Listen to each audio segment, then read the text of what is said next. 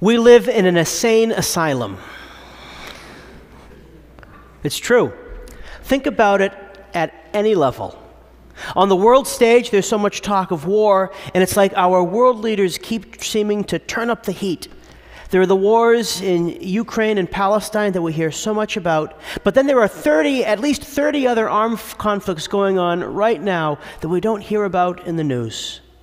In our country, there is so much polarization, and differing opinions are met with hostility instead of dialogue. And then there are concerns about the environment, social justice, economic instability and inequality, mis and disinformation, and a news cycle that makes us feel like we're in a perpetual state of crisis. And then we've got our own issues. At Thanksgiving dinner, there are so many third rails and landmines that you have to tiptoe around. And then maybe you guys have, like me, family members who happen to, they like to lob grenades just to see how people are going to react. But with all of this, we should not be surprised because Jesus told us it would be this way. Jesus said, In the world you will have tribulation. But take heart, I have overcome the world. Today we celebrate the solemnity of Jesus Christ, the King of the universe, and it is the last Sunday of the liturgical year. We have journeyed with our Lord from his birth through his ministry to his passion, death, resurrection, and ascension, and then into the growth of the church and the proclamation of the gospel to the nations. Next Sunday, if you can believe it, is the first Sunday of Advent, the beginning of a new liturgical year, when we do it all again. the rhythm of the liturgical year guides us through the seasons of the year as well as through the seasons of our lives. When I was a little one at Sacred Heart Elementary School in Kingston, the first graders every Advent would put on a nativity pageant to help get us ready for Easter. And then in Lent, the sixth graders would put on a passion play to get us ready to celebrate our Lord's resurrection. When I was really little, for the first year or two, I thought that all the events of Jesus' life took place in just a couple months. But you know something? It does make sense that we reflect on the span of his life each year in the same way that we reflect on and we celebrate significant events like birthdays and anniversaries. Because it calls to mind the span of our lives from birth and baptism to final anointing and death. The readings that we've been hearing at Mass these past weeks have been preparing us for judgment. And today's gospel gives us a vision of what the final judgment will be like when Jesus Christ, the King of the universe, sits on his throne passing judgment on each and every human being, punishing evil and rewarding love and self sacrifice. So, while at times it might feel like we live in an insane asylum, we know that in the end, God wins. And truth, beauty, and goodness triumph over ugliness, evil, and selfishness. At this point in St. Matthew's Gospel, which we are reading from chapter 25, Jesus has entered the holy city of Jerusalem for the final time. And since his time on earth is about to conclude, Jesus is pointing the disciples and us to his kingdom, the kingdom that lasts forever. Some people think that this life is all there is, but we have immortal souls, and we are destined to live forever.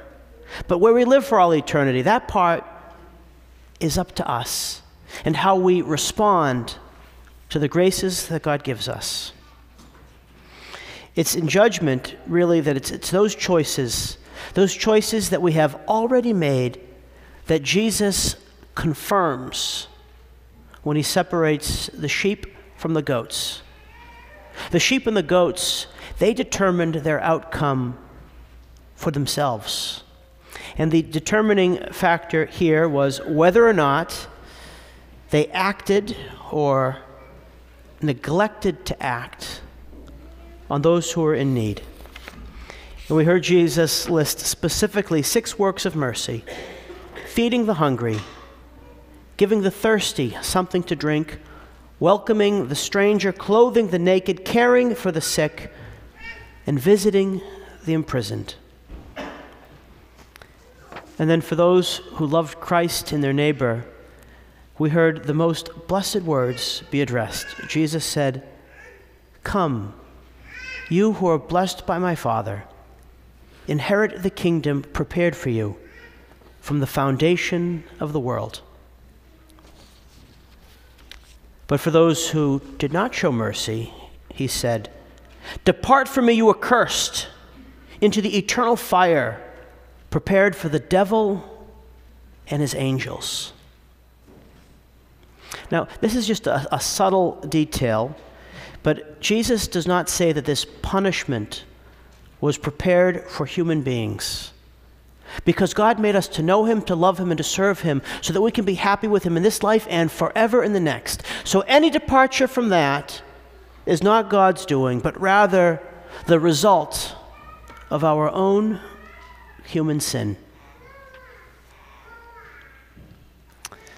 Another detail that's kind of important is that for both the sheep and the goats, there's an element of surprise. Neither the sheep nor the goats expected the Messiah to identify himself with the disadvantaged. We heard the sheep ask, When did we see you suffering, Lord, and help you? And on the flip side, we heard the goats protest, When did we see you suffering and not minister to your needs? A number of years ago, I was talking to a woman whose brother, who I knew, had recently died. Her brother was a priest, and she shared with me a story about their father when he was on his deathbed.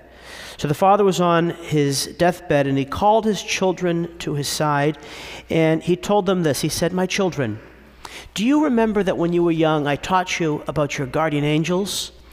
And the children replied, Yes, Dad. And he said, I told you that each of you have a guardian angel that follows you throughout your life carrying a briefcase. And it's into that briefcase that your guardian angel puts all of your good actions. Do you remember that? Yes, Dad, they said. And then he said that at our final judgment, that guardian angel would be standing beside you as you stand before our Lord. And he's going to open that briefcase so that he can show to God all of your good actions. They said, Yes, Dad. And at this point, the man began to sob. And he said through his tears, Well, my guardian angel does not have anything in its briefcase to show God.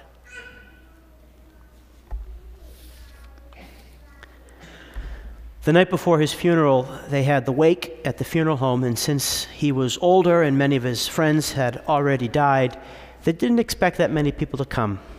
But to their surprise, there was a long line that stretched out the front door and then around the corner outside.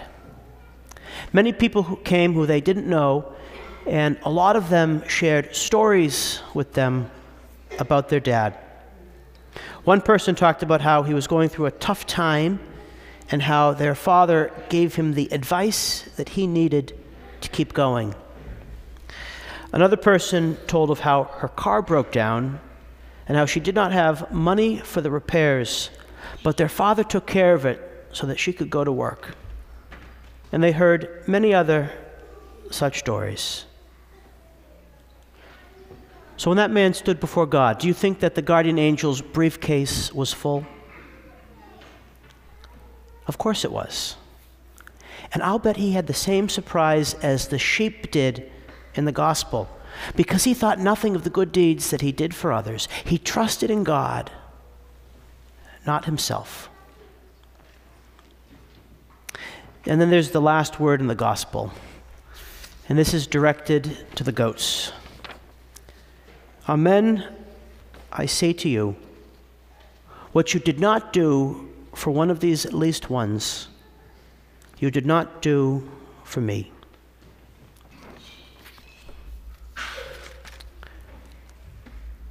Friends, even though we live in crazy times, even though at times it might feel like we live in an insane asylum, even though it might look like Jesus has lost control, Jesus is patiently sitting on his throne and is giving us all the graces that we need to love him through others. The challenge for every disciple of every time and place is to find those who are hurting and to show mercy. Maybe it's one of the six things that Jesus lists specifically in the gospel, but each of them really are an umbrella for all of the things that people suffer today. So, a question you might ask yourself in prayer, especially as we receive our Lord in Holy Communion, is this Who around you is suffering, and what can you do to help?